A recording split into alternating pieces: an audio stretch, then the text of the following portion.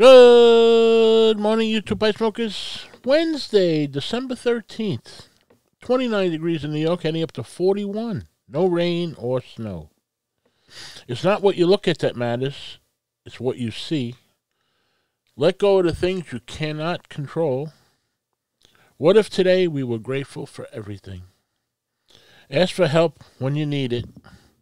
There is no genius without a touch of madness. Anyway, hope you're having a good week. Midweek, hump day.